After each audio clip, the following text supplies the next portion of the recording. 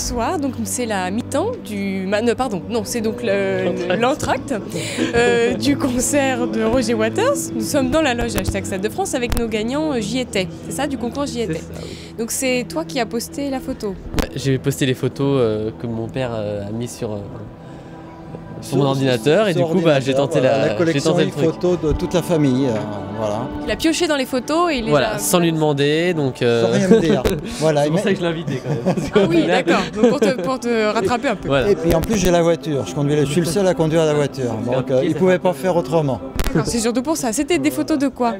Euh, C'était des photos. euh, De quel événement au Stade de France Alors il y avait le match France-Ukraine, j'étais vraiment petit, c'était le premier match que je venais voir au Stade de France, et donc j'avais un, un style très particulier.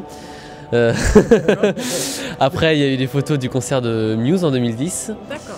et de certains matchs de rugby, dont Stade français Clermont je crois.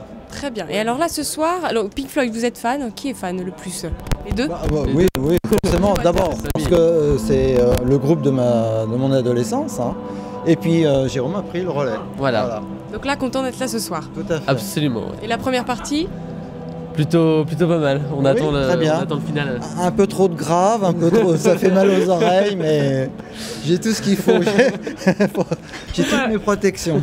Vous avez toutes les protections. Très bien. Bah, merci beaucoup. Et puis, bah, Bah, bonne, bonne fin de soirée Voilà. alors. Merci, Merci. à vous aussi.